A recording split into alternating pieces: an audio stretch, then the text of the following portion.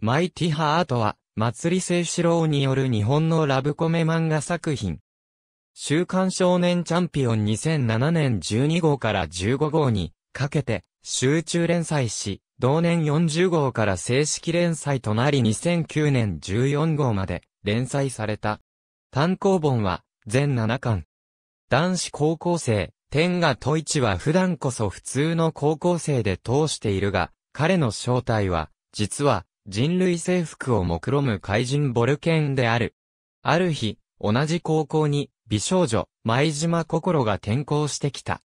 彼女に惹かれ、恋してしまった重視であるが、彼女の正体は、怪人軍団と敵対する断罪天使マイティハート、であった。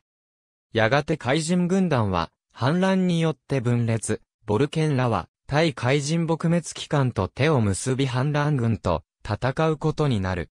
反乱軍による攻撃からボルケンを守ったのは、ボルケンと同じ外見で8年前に死んだはずのベネトナ種だった。存在衝突が原因で消滅しかけたボルケンは、過去に遡って、ベネトナ種を抹殺することを決意。時空速攻装置で、8年前にタイムスリップするが、